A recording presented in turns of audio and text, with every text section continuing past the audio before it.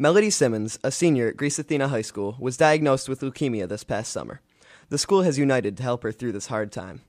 The Greece community as a whole has done everything from making wristbands The bracelets for her, they were available to anyone. Mel made $1.60 off each bracelet. to raising money for hospital expenses We had a car wash for Mel, and we were able to raise over $4,000.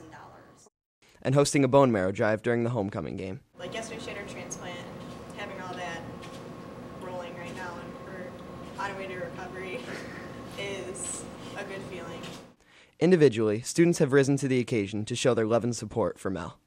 For our pep rally at Athena, we had an orange out where every senior in the senior class wore orange shirts with her name and the cancer symbol on them. I feel like even though everyone should be supporting her, and we are, it almost made it better because it seemed like she was supporting everyone else to make, she didn't want like our spirits to be low, so it was easier for us to be optimistic for her.